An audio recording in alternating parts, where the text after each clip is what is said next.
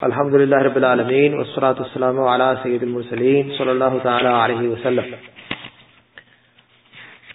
दरस बार शरीयत की ये बीसवीं नशिस्त है तो जन्नत का बयान मुख्तसर बाकी है। इसी को आज पूरा कर लेते हैं कि अल्लाह रब्बुल इज़्ज़त ने जन्नत बनाई है, दोजख भी बनाई है, और इन दोनों को मानना कि जन्नत है दोजख है ये हमारे अकायद का हिस्सा है। जो ये इनकार करे कि जन्नत कोई शय नहीं या इनकार करे कि दोजख जहन्नम कोई शय नहीं वो कतअन काफिर है। तो दोहराना इसलिए पड़ता है कि कुछ लोग नए आए हुए थे तो ये एक बहुत ही अहम अकीदा है कि जन्नत और दोजक का यकीन रखना अहल सुन्नत के अकायद में से मुसलमान के अकीदे में से एक जुज है जिसका इनकार करना माजल्ला इंसान को काफिर बना देता है। तो जन्नत है और कोई ये नहीं कह सकता कि जन्नत सिर्फ़ ख्याल है या जन्नत में सिर्फ़ रूह जाएगी। जन्नत में जिस्म और रूह दोनों जाएगी और इंसान जिस्म के साथ जन्नत में जाएगा और वहाँ पर जो लज्जतें पाएगा वो जिस्म और रूह दोनों को मैसर आएगी। दोनों को उसी लज्जतें वो महसूस करेगा। हदीस पाक में आता है, बुखारी शरीफ की हदीस है। और तिरमिजी शरीफ में भी ये हदीस मौजूद है। और मुस्लिम शरीफ में ये हदीस दूसरे अल्फाज के साथ है, जिसमें एक जुज कम है उसमें, लेकिन ये हदीस मुतवातिर है। सैदना अबू हुरैरा रदी अल्लाह तहो इर्शाद फरमाते हैं कि सरकार दो जहाँ सल्लल्लाहु अलैहि वसल्लम ने यूँ इर्शाद फरमाया कि अल्लाह तबारक ने अपने फरिश्तों में से कुछ फरिश्तों को इस काम पे लगा रखा है कि वो ज़मीन पर घूमते रहते हैं। उनका नाम है सयाही मुख्तलिफ़ हादिस से बात हो रही है। उनका नाम ही है सयाही तो वो गलियों में, शहरों में ज़मीन पर घूमते रहते हैं, वो एक चीज़ तलाश करते रहते हैं। वो क्या तलाश करते हैं? वो ऐसी महफिल तलाश करते हैं जहाँ पे अल्लाह उसके रसूल का ज़िक्र हो रहा वो उन महफिलों को तलाश करते हैं। जब उनमें से किसी एक को वो महफिल मिल जाती है तो वो दूसरों को बुलाता है, आओ आओ, हमारा मकसद मिल गया। वो दूसरों को जमा करता है तो तमाम उस जगह पे जमा हो जाते हैं हत्या के सरकारी शासन माते हैं कि उस जगह पर बेशुमार फरिश्ते जमा हो जाते हैं। और उस महफिल को अपने परों से ढाक लेते हैं। ऐसा ढाकते हैं कि ज़मीन से लेकर के पहले आसमान तक फरिश्ते ही फरिश्ते होते हैं। रहमत के परों से उनको ढाक लेते हैं। और वो फरिश्ते वहाँ पर जब तक महफिल बर्खास्त नहीं होती, उस वक्त वो महफिल में ऊपर फरिश्ते रहते हैं। जब महफिल बर्खास्त हो जाती है तो फरिश्ते अपने रब की बारगाह में हाजिर होते हैं। जब वो हाजिर होते हैं, महफिल के खत्म होने के बाद तो अल्लाह रब्बुल इज़्ज़त उनसे पूछता है, हालाँकि वो हर चीज़ जानता है। वो हर शय को जानता है। उससे पूछते हैं, अल्लाह तबारक उनसे पूछता है मेरे फरिश्तों, बताओ कहाँ से आ रहे कहाँ से आ रहे तो अर्ज़ करते हैं यारब तू बेहतर जानता है। और हम जो है, एक ऐसी महफिल से आ रहे हैं, जहाँ पर लोग जमा हुए थे, और वो तेरी तस्वीर पढ़ रहे थे। तेरी तमजीद कर रहे थे, तेरी अहलील तहलील कर रहे थे, तेरा हमद कर रहे थे, तेरी तस्वीर कर रहे थे इस्तफार कर रहे थे। क्या उन्होंने मुझे देखा है? अल्लाह रबुल्जत फरिश्त से पूछता है, क्या उन्होंने मुझे देखा है? ये अल्फाज बुखारी शरीफ में और तिरमिजी शरीफ में है। मुस्लिम शरीफ में ये लफ्ज नहीं है। तो अल्लाह तबारक फरिश्त से पूछता है, क्या उन्होंने मुझे देखा है? तो फरिश्ते अर्ज़ करते हैं, वल्लाह या रब, तेरी ही कसम उन्होंने तुझे नहीं देखा। तुझे नहीं देखा। तो अल्लाह रब्बुल इज़्ज़त इरशाद फरमाता है अगर वो मुझे देख लेते अगर वो मुझे देख लेते तो उनका क्या आलम होता? क्या आलम होता उनका? तो फरिश्ते अर्ज़ करते हैं यार अब अगर वो तुझे देख लेते तो बेशक तेरी तस्बीह और तहलील और हम जो है बहुत ज़्यादा कसरत से करते। बहुत ज़्यादा कसरत से करते। अब अंदाज़ा फरमाइए कि कल का जो दर्ज था उसी की ये बात है इंशाल्लाह आगे बढ़ाएँगे उसको बाद में, कि रब्बुल इज़्ज़त का दीदार करना मोमिन की हिर्स में से होने चाहिए, कि मुझे अपने रब का दीदार हो जाए। और इंशाल्लाह होगा और जन्नत के बयान में वो आएगा। इसीलिए मैंने हदीस बाग बयान किया आपके सामने कि रब्बुल इज़्ज़त पूछेगा फरिश्तों से कि बताओ कि क्या उन्होंने मुझे देखा है कि मेरी तस्वीर करते हैं। मेरी हमद करते हैं, मेरा शुक्र अदा करते हैं, मेरी तमजीद करते हैं और मेरा बयान करते हैं, क्या उन्होंने मुझे देखा है? इस तरह मेरा ज़िक्र करते हैं। तो फरिश्ते अर्ज़ करेंगे यार अब तेरी कसम उन्होंने तुझे नहीं देखा। अगर देख लेते तो क्या होता? तो फरिश्ते अर्ज़ करेंगे यार अब अगर उन्होंने तुझे देखा होता तो बेशक वो तेरी तस्वीर और तेली और हम जो है, इससे कहीं और ज़्यादा करते। तो रबुल शाह फरमाएगा अच्छा ये बताओ कि वो मुझसे क्या मांगते हैं? तो मुझसे क्या तलब करते हैं? क्या मांगते हैं? फरिश्ते अर्ज़ करते हैं कि यार अब वो तुझसे तेरी जन्नत तलब करते हैं। वो तुझसे तेरी जन्नत तलब करते हैं। अल्लाह रबुल इज़्ज़त इशाद फरमाता है उनसे कि क्या उन्होंने जन्नत को देखा है? क्या उन्होंने जन्नत को देखा है? तो फरिश्ते दोबारा अर्ज़ करते हैं यार तेरी कसम। वल्लाह उन्होंने जन्नत को नहीं देखा। तो अल्लाह रब्बुल इज़्ज़त दोबारा उनसे पूछता है कि बताओ, अगर वो जन्नत को देख लेते तो उनका क्या हाल होता उनकी? क्या कैफियत होती? तो फरिश्ते उन्होंने जन्नत देखी है। फरिश्ते ने जन्नत देखी है। तो फरिश्ते अर्ज़ करते हैं रबुल इज़्ज़त से, अल्लाह अल्लाह तबारक ताला से कि यार अब अगर वो जन्नत को देख लेते तो वो उसकी तरफ़ और हिरस रखते। जन्नत में जाने का और हिरस रखते, और अच्छे अमाल करते, और उसकी तरफ़ मजीद रागिब होते, और उसकी तरफ़ बहुत ज़्यादा जन्नत की तरफ़ रागिब होते अभी भी रागिब है जन्नत का बयान सुनते हैं जन्नत की तारीफ़ सुनते हैं तो रागिब होते अगर देख लेते तो फिर तो बहुत ज़्यादा उसकी चाह रखते बहुत ज़्यादा उसकी तरफ़ रागिब होते फिर अल्लाह तबारक तारीशात फरमाता है उनसे कि बताओ किस चीज़ से पना चाहते हैं? हालाँकि अल्लाह रब हर चीज़ जानता है हर शय जानता है। तो फरिश्ते कहते हैं कि यार वो तुझसे जहन्नम से पना चाहते हैं। मिनन्नार आग से पना चाहते हैं। तो अल्लाह रब फिर से उनसे पूछता है ये बताओ क्या उन्होंने दोजक को देखा है? क्या उन्होंने दोजक को देखा है?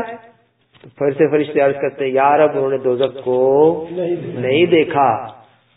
तो अल्लाह फिर से पूछता है उनसे ये बताओ अगर जहन्नम को देख ले तो फिर उनका क्या हाल जहन्नम को अगर देख ले तो क्या हाल तो फरिश्ते फिर से अर्ज़ करते हैं यार अब अगर वो जहन्नम को देख लें तो ज़रूर बजरूर उससे और दूर भागेंगे और उससे बचने की पूरी पूरी तरतीब करेंगे कोशिश करेंगे कि उससे उसमें न जाए और तेरा खौफ रखेंगे। उस जहन्नम से जाने में खौफ उनका बढ़ जाएगा कि जहन्नम को देख लिया उसके बाद उसके अंदर कैसे जाने के किसी को रहेगा गुनाह करे तो अल्लाह रबुल फरमाया कि गवाह हो जाओ।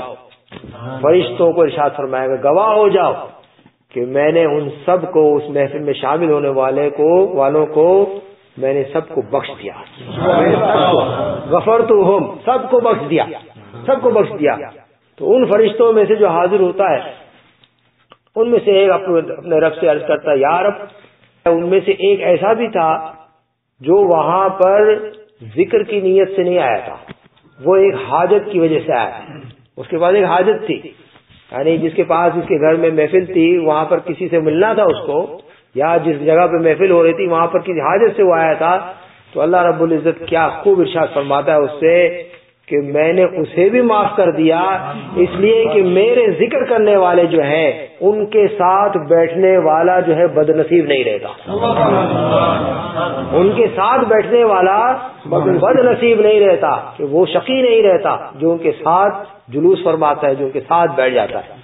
अब मैं आपसे अर्ज़ करता हूँ कि ज़िक्र इलाही की महफिल और ज़िक्र रसूल की महफिल का कितना बड़ा समर है कि लोग उसमें आए, किसी भी नीयत से आ जाए, किसी भी नीयत से आ जाए, कुछ ज़िक्र की नीयत से आए, कुछ आलिम का चेहरा देखने की नीयत से आए, कुछ इल्म दीन सीखने की नीयत से आए, कुछ नाक सुनने सुनाने की नीयत से आए, बहरहाल उन सब की नीयत अल्लाह तबारक जानता है, सब की बख्शिश फरमाता है।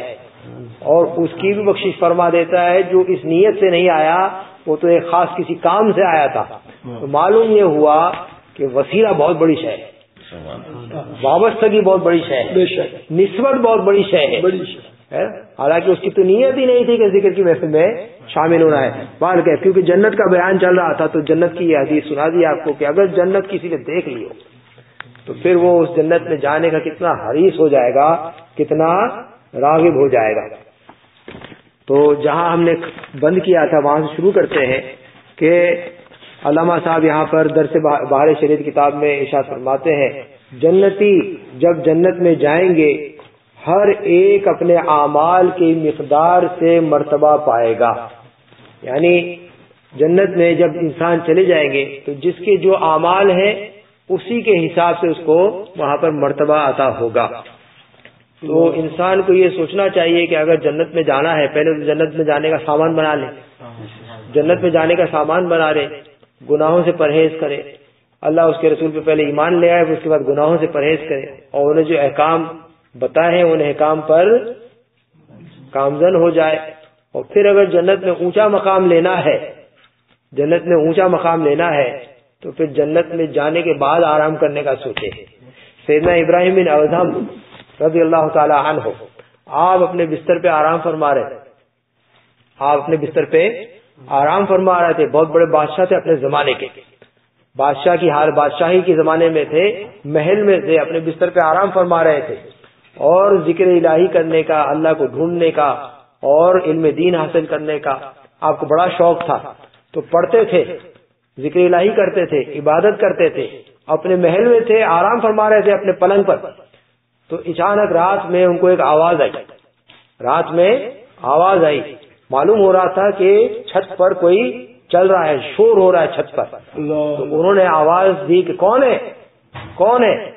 तो छत पर से आवाज़ आई कि मैं अपना ऊँट ढूंढ रहा हूँ। मैं अपना ऊँट तलाश कर रहा हूँ। बादशाह से गुस्सा है आपको। कैसा अहमक आदमी है? मेरी छत पे कहाँ से ऊँट आ जाएगा? मेरी छत पे, महल की छत पे ऊँट कहाँ से आ जाएगा? तो कहा, कैसे आदमी हो तुम? मेरे महल की छत पे ऊँट तलाश करते हो? यहाँ पर ऊँट होता है। तो असल में तलाश करने वाला तो कोई नहीं था, वहाँ पे एक फरिश्ता था। उस फरिश्ते ने इब्राहिम बिन अदम को जवाब दिया कि, महल की छत पे ऊँट को तलाश करने पे तुम ताजुब करते हो और तुम खुदा को नरम बिस्तर पे तलाश करते हो। ताजुब तो तुम्हें इस बात पे होना चाहिए कि तुम नरम बिस्तर पे लेट करके अल्लाह को तलाश करते हो। अल्लाह महल की छत पे मैं ऊँट तलाश करता हूँ तो तुम्हें ताजुब होता है। तो सैदना इब्राहिम नदम को समझ में आ गया कि एक फरिश्ते की आवाज़ है। सुबह उठे अपना तमाम के तमाम जो मुल्क था वो अपने वज़ीर को सौंपा और कहा कि मुझे अल्लाह जो है अपने पलंग पे नहीं मिलने वाला। मेरा अल्लाह पलंग पे मुझे नरम बिस्तर पे नहीं मिलने वाला। जंगल की तरफ़ चले गए। आप तारीख दुनिया में यूँ समझ लीजिए जितने भी तारीख दुनिया गुजरे हैं उनके सरदारों में से हैं। उनके सरदारों में से हैं। तो बोलने का मकसद ये है कि अल्लाह तबारक ने जन्नत तो बना दी है। तो हमें तो पता नहीं हम जन्नत में जाएँगे या नहीं जाएँगे। कम अज कम दरवाज़ा तो खुल जाए हमारे सरकार के सख्त में हमारे लिए। लेकिन कुछ लोग को बड़ा शौक होता है। उनको ये गारंटी जैसे मिल चुकी है कि हम तो जन्नत में जाएँगे ही जाएँगे। हम तो जन्नत में जाएँगे ही जाएँगे। भाई तुमने ऐसा कौन सा अच्छा अमल अमल कर लिया कि तुम जन्नत में दाखिल हो जाओगे? इसीलिए मैंने अर्ज़ किया कि सीधा इब्राहिम बिन आदम रज़ी अल्लाह तु का वाक्य हमेशा याद रखो कि वो तो इतने बड़े बुज़ुर्ग थे इतने बड़े कामिल वली थे उनको भी जो है ना फरिश्ते ने आकर के कहा कि पलंग पे अल्लाह को तलाश करता है। अपने रम बिस्तर पे अल्लाह को तलाश करता है यहाँ पे तुझे खुदा नहीं मिलने वाला। तो अगर जन्नत में जाने का कोई गारंटी नहीं हमारे पास तो हम तो ऐसे नहीं जैसे इब्राहिम बिन अदम थे। तो उस जमाने में भी वली थे जब महल में सोए हुए थे। लेकिन हमारे पास तो हमारी नहीं है। हमारे पास जन्नत का दरवाज़ा खोलने की तो हम कोशिश करें। जन्नत का दरवाज़ा कम अज कम खोलने की तो कोशिश करें। तो बहरहाल बोलने का मकसद ये है कि जन्नत में जब जन्नती दाखिल हो जाएँगे तो उनके अमाल के मुताबिक उनको वहाँ पर दर्जा दिया जाएगा। जिस दर्जे में उनके अमाल जैसे अच्छे होंगे अल्लाह तबारक नज़दीक उसी अमल के मकदार के हिसाब से उनको मर्तबा दिया जाएगा। और बेशक अल्लाह के फजल की कोई हद नहीं।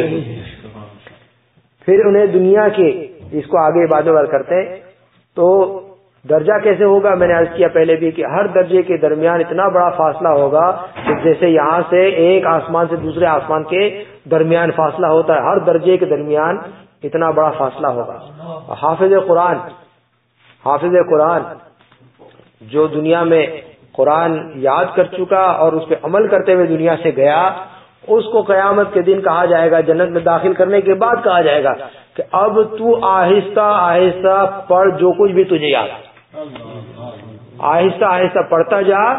जो कुछ भी जितना भी तुझे कुरान याद है उसको तू आहिस्ता आहिस्ता पढ़ते जा।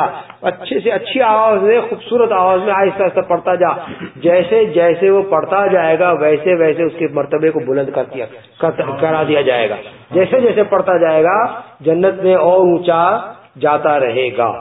बार कह उसके बाद इच्छा फरमाते हैं फिर उन्हें मतलब जन्नतियों को दुनिया की एक हफ़्ते की मिकदार के बाद इजाज़त दी जाएगी कि अपने परवरदिगार अज्जवजल की जियारत करें और अरश इलाही ज़ाहिर होगा। और रब और रब अज्जवजल जन्नत के बागों में से एक बाग में तजल्ली फरमाएगा और उन जन्नतियों के लिए मिंबर बिछाए जाएँगे। नूर के मिंबर, मोती के मिंबर याकूत के मिंबर जबरजद के मिंबर, सोने के मिंबर, चांदी के मिंबर, और उनमें का अदना, यानी अदना दर्जा रखने वाला जन्नती, मुश्क और काफूर के टीले पर बैठा होगा। और उनमें अदना कोई नहीं। यानी सिर्फ़ ये बताने के लिए कि वहाँ पर मरातब में फ़र्क होगा। अदना कोई नहीं, हर कोई अल्लाह का महबूब होगा, हर कोई अल्लाह का चहीता होगा, जन्नत में जा चुका। लेकिन वहाँ पर भी यूँ समझिए कि रुतबा सबका सब, सबका बड़ा है लेकिन बड़े रुतबे में फिर और बड़े रुतबे हैं। यूँ समझ लीजिए। तो उनमें से कोई अदना नहीं है। और अपने गुमान में कुर्सी वालों को कुछ अपने से बढ़कर नहीं समझेगा। तो जो सबसे नीचे वाले टीले पे बैठा होगा, मुश्क और अंबर का वो टीला होगा, उसके ऊपर जो बैठा होगा मिंबर पर, मोती के मिंबर पर, चांदी के मिंबर पर, सोने के मिंबर पर, नूर के मिंबर पर ज़बरदस्त के मिंबर पर, हीरो के मिंबर पर, उसमें बैठा होगा। तो ये जो निचले मिंबर पे बैठा होगा, मोती, उस पे टीले पर बैठा होगा, मुश्क काफूर के टीले पर, वो उनसे हसद नहीं करेगा। वो ये नहीं कहेगा कि ये मेरे से ऊँचे हो गए। उसके दिल में हसद वाली बात आएगी नहीं। और उनको गुमान नहीं करेगा कि ये मुझसे ऊँचे हो गए। उनको अपने से उनसे बढ़कर नहीं समझेगा।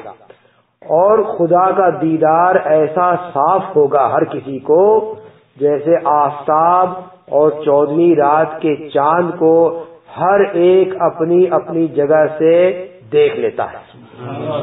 यानी अगर कोई मैदान में खड़ा है, या कोई कुर्सी में बैठा है, या कोई जो है किसी बिल्डिंग की छत पे खड़ा है तो चाँद को देखना हो चौधरी के चाँद को देखना हो रात में, या सूरज को देखना हो तो मैदान में खड़े वाले को भी वैसे ही नज़र आता है, जो छत पे बैठे वाले को भी नज़र आता है। तो एक मिसाल दी जाती है कि अल्लाह रब्बुल इज़्ज़त का जब दीदार होगा जन्नत में तो कम दर्जे वाला जन्नती और ऊँचे दर्जे वाला जन्नती सबको साफ़ और यकसा नज़र आएगा। कि एक का देखना दूसरे के लिए माने नहीं, यानी किसी को रुकावट नहीं होगी, कोई कोई नीचे है तो उसको नज़र नहीं आ रहा बराबर से, ऐसे कुछ नहीं होगा। और अल्लाह अज्जवजल हर एक पर तजल्ली फरमाएगा। जिनको अल्लाह को देखने का शौक है, वो जन्नत में जाने की तैयारी करें। अल्लाह ताला हम सबको दीदार अता फरमाया अल्लाह हमारे आका ने तो अल्लाह तबारक ताला को शब असरा में देखा। इमाम आज़म ने ख्वाब में उन्नीस मरतबा देखा। तो उनमें से अल्लाह तबारक हर एक पर तजल्ली फरमाएगा, जन्नतियों में। जन्नतियों पर तजल्ली फरमाएगा। उनमें से किसी को फरमाएगा, हमारे जैसे गुनेगार जन्नत में दाखिल हो जाए, अल्लाह करे, उसी के करम से, उसी की रहमत से। उनमें से किसी को फरमाएगा ए फला बिन फला नाम लेकर के। अब अल्लाह तबारक वाली के दीदार करने वाले जन्नत में खरबों इंसान होंगे। हर जन्नती को होगा। खरबों की तो मैंने इसलिए लगा दी क्योंकि सरकार ने इशात फरमाया हर सत्तर हज़ार के साथ सत्तर हज़ार और होंगे। फिर ऐसे तीन गिरोह और होंगे तो, तो कितने बनते हैं? अल्लाह बेहतर जानता है। तो हर किसी से अल्लाह तबारक वाली कलाम फरमाए ये उसकी कुदरत में शामिल है। हर किसी को लगेगा मुझसे बात कर रहा है। हर किसी को ये महसूस होगा कि मुझसे बात कर रहा है। तो अल्लाह तबारक वाली गुनेगारों से, किसी किसी से इर्शाद फरमाएगा, ए फला बिन फला, तुझे याद है जिस दिन तूने ऐसा ऐसा किया? यानी गुनेगारों से वो फरमाएगा कि तुझे याद है जिस दिन तूने ये ये, ऐसे ऐसे गुनाह किया? तो दुनिया के बाद मासी और गुनाह उसको याद दिलाएगा गुनेगार तो बंदा अर्ज़ करेगा वो जन्नत में दाखिल हो चुका है बंदा? गुनेगार बंदा तो वो कर्ज करेगा। तो क्या, ए रब, क्या तूने मुझे बख्श नहीं दिया? जन्नत में जाने के बाद तूने मुझे मेरा गुनाह याद दिलाया। तो क्या तूने मुझे बख्श नहीं दिया? तो रब, अल्लाह रब्बुल इज़्ज़त फरमाएगा हाँ मैंने बख्श दिया मेरी मकफरत की वसत ही की वजह से तू इस मर्तबे को पहुँचा है। तो यहाँ अर्ज़ करना है कि अल्लाह रब्बुल इज़्ज़त गफ्फार है, सत्तार है, रहीम और करीम है। जब ये एक बंदे से जब इरशाद फरमाएगा कि याद कर तूने ऐसा ऐसा किया था तो ये कोई ना समझे कि उसकी आवाज़, अल्लाह की आवाज़ जो है दूसरा सुन रहा है कि मेरे बारे में ऐसी बात कर रहा है। अल्लाह रब्बुल इज़्ज़त सबको पर्दे में रखेगा।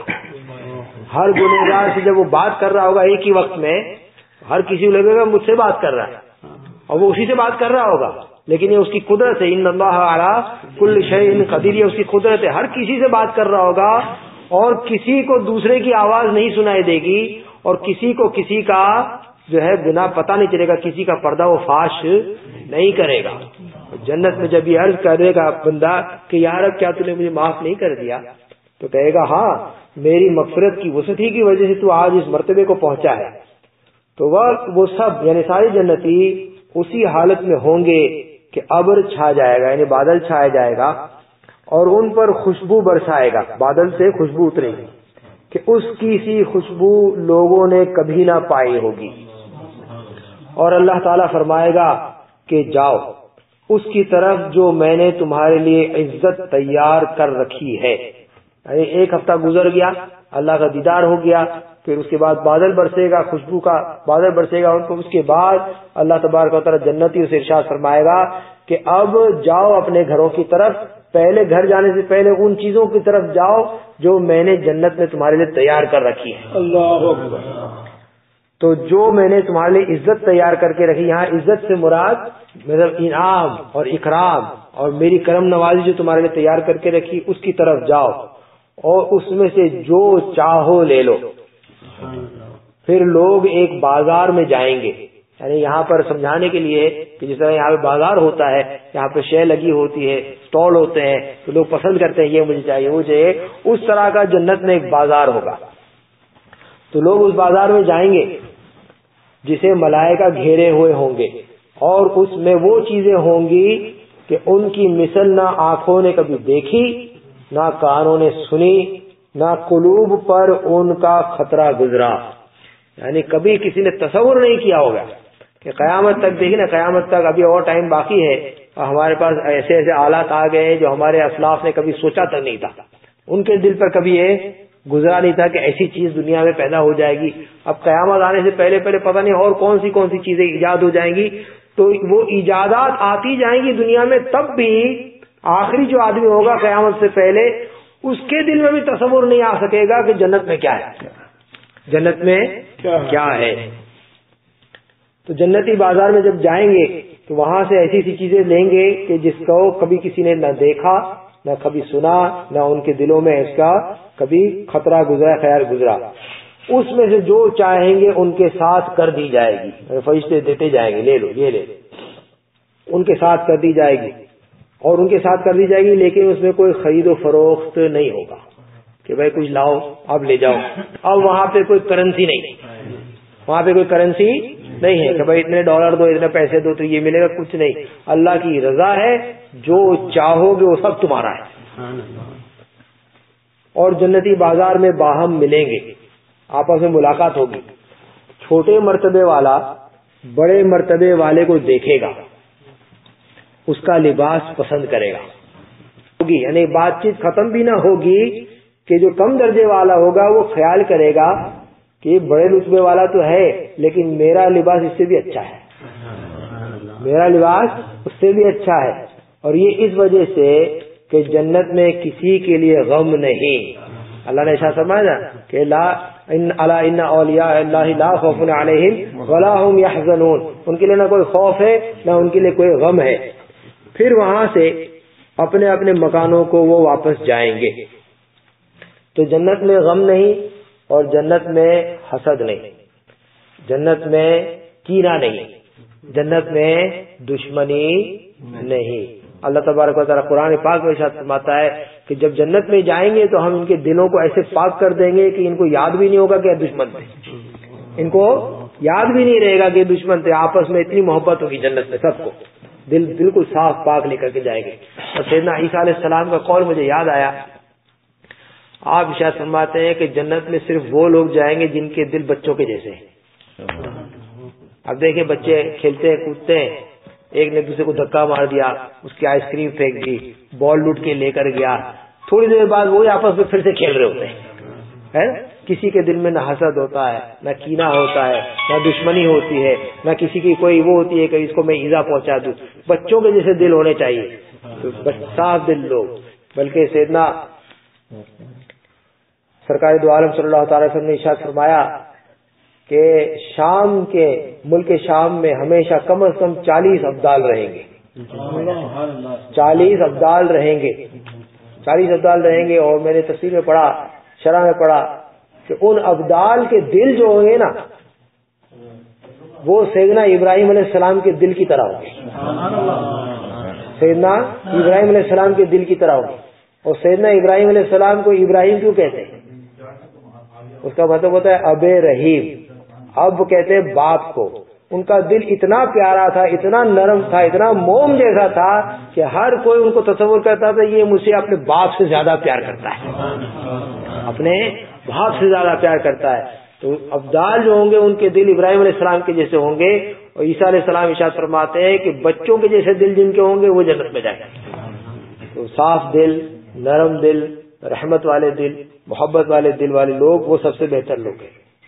तो जब वहाँ से वापस आएँगे तो अपने मकानों की तरफ़ वापस जाएँगे तो उनकी बीवियाँ इस्तकबाल करेंगी और मुबारकबाद देकर कहेंगी कि आप वापस हुए और आपका जमाल उससे बहुत जायद है, या ज़्यादा है, कि जिसने, के हमारे पास से जब आप गए थे। जब आप गए थे, आप हसीन थे, खूबसूरत थे, आप वापस आए हैं तो आपके जमाल में चार चाँद और लग गए हैं।